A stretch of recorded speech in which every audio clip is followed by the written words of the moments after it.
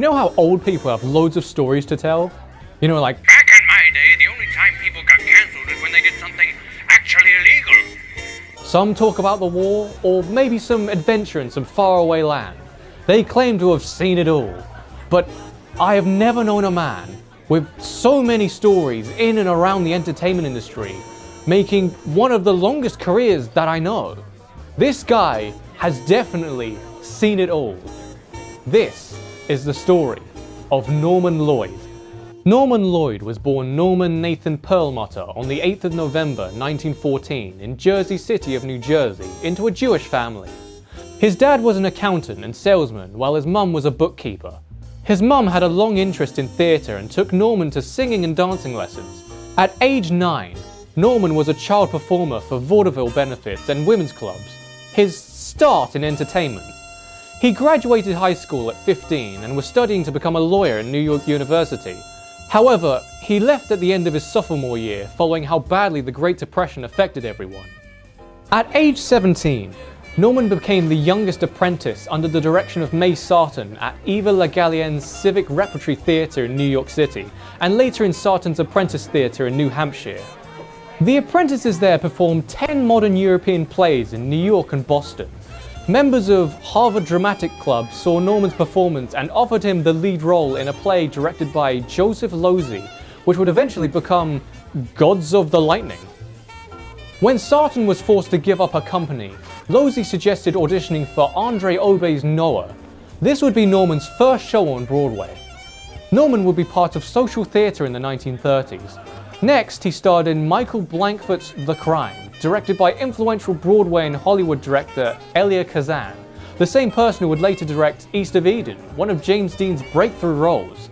It was on this production he also met Peggy Craven, who would later become his wife. Losey brought Norman onto the Federal Theatre Project, which Norman would later call one of the greatest theatres of all time.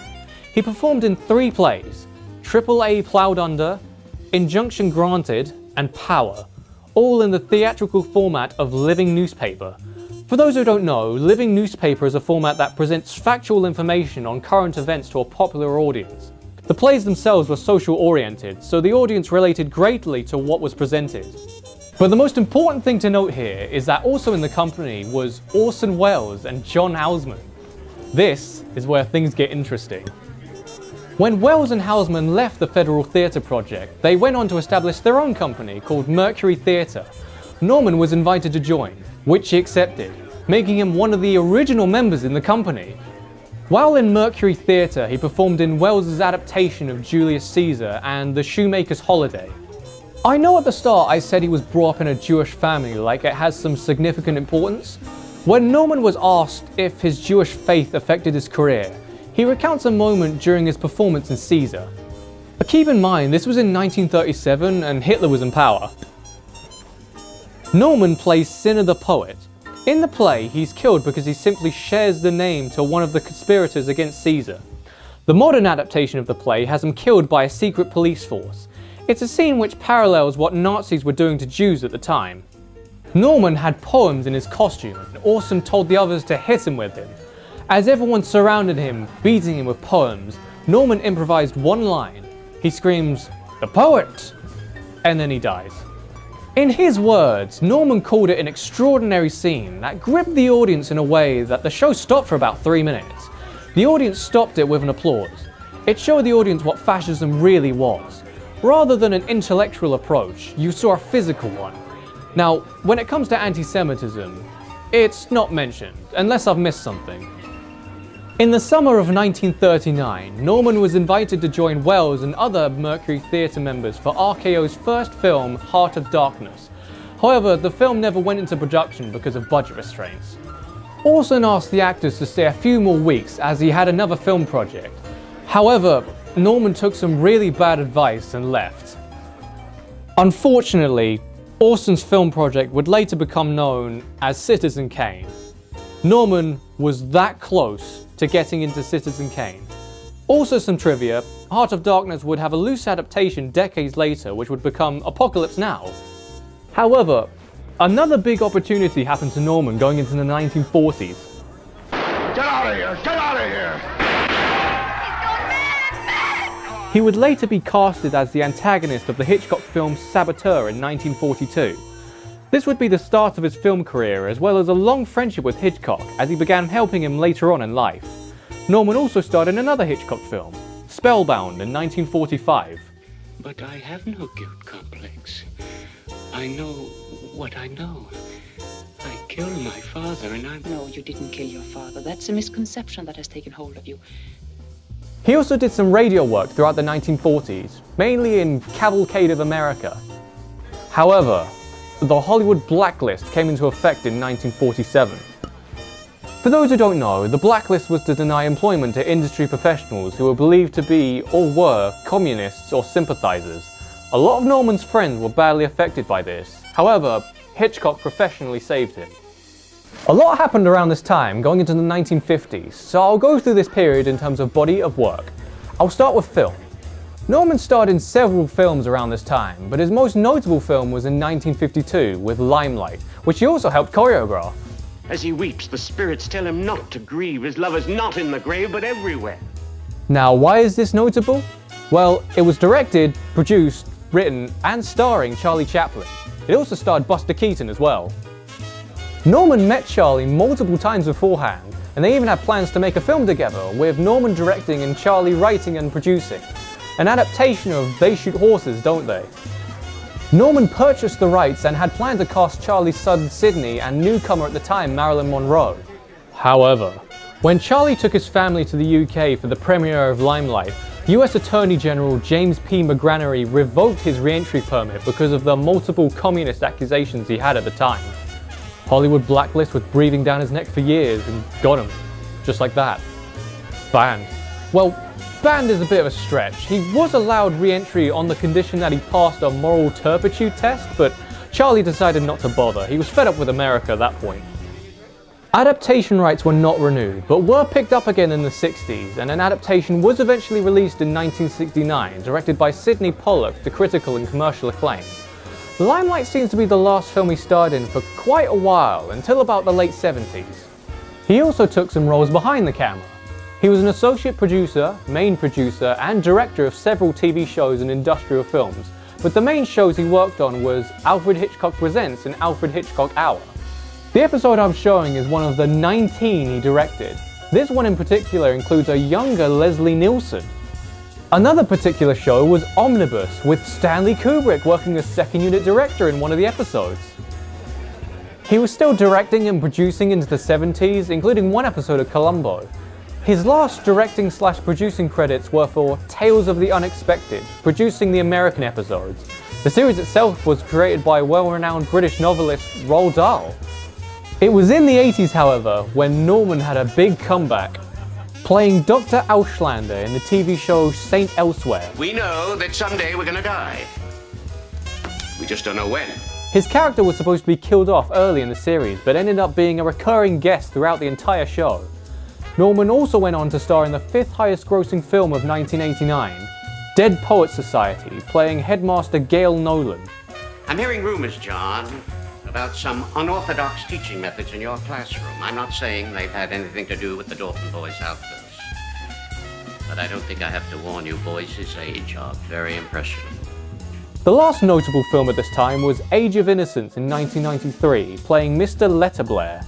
Countess Olenska wants to sue her husband for divorce. It's been suggested she means to marry again. Nothing really notable from here on.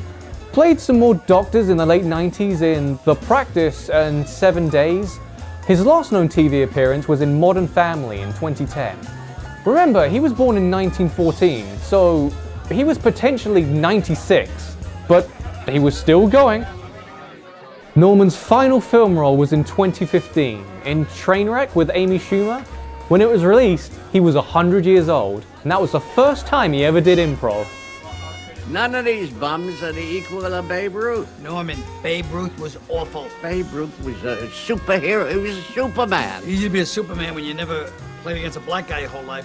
What has white black got to do with it? Every 12-year-old kid in the Dominican Republic right now could probably beat Babe Ruth. Blah, blah, blah, blah, We're blah. 1947. It's one big asterisk. Blah. Norman, I was the first person on my block to own a television set. That's, that's really not relevant right now, Norman. That's interest. It's not relevant. What are robots? You coming? Yes, I'll be right there. I'll be right there. Merrill's wearing a two-piece. Guy died three years ago. Nobody alerted him. Despite him being that age, he still would not retire. He went around doing lots of interviews from time to time regarding his life. Here's an example from the end of 2016. At the age of 102, Little Amy Schumer, marvelous. What a mouth on her. Oh, God. well, eh, we were doing an improvisation, and she turned to one of the actors and she said, Well, fuck you. At that point in my life, I said, Well, I've now heard everything. Here's an idea to show how truly old he was. Notice his accent. That's considered mid-Atlantic, something he learned at Eva Le Gallienne. You would hear that a lot in classical Hollywood films, but to adopt it and use it naturally, that's on the verge of extinction. Unfortunately, Norman would eventually die naturally in his sleep on the 11th of May 2021 at the age of 106 when it comes to centenarians, the main question that comes to mind is what is the secret to a long life? Norman's answer was a positive attitude. Another thing he never specified as a secret to a long life, but I think it contributed, he was quite active. He was known for playing a lot of tennis, which began at the age of 8. Numerous actors he played with included Charlie Chaplin, Joseph Cotten, and Spencer Tracy. I mean, again, this man has seen it all. Playing tennis with some of Hollywood's biggest stars, I mean, wow. He played twice a week until July of 2015, at 100, where he literally fell on his face. Even into his 100s, he was riding his bike for half an hour every day. I heard some rumors going around that he was supposed to star in some upcoming TV show called Fly, but I can't seem to find any information on it at the time I'm filming this. But if it is true, that would be his last time on screen.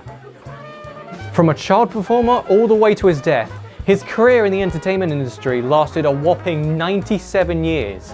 In vaudeville, theatre, film, radio, TV, pretty much every major form of entertainment throughout the 106 years he was alive. 106 years. Imagine having 100 year old memories. I can remember that father. I compare his life to Forrest Gump in a way because, like Forrest, he was either in or around so many famous people and historical events, but Norman actually realizes this. I'd also compare him to Grandpa Simpson simply because both men have a sheer amount of stories to tell. Plus, he was still willing to keep going. I think that's something we can take from this man's story to keep going. Of course, if you have horrible back pain or have done honest work that's not particularly fun, like hewing coal all your life, I won't blame you for retiring, but you know what I mean. If you can, if you enjoy what you do, keep going until you drop. And with that being said, I'm out of here.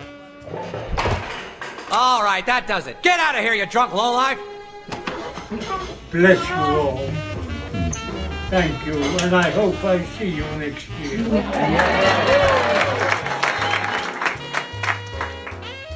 Hey! That's the biggest hand I've had in years.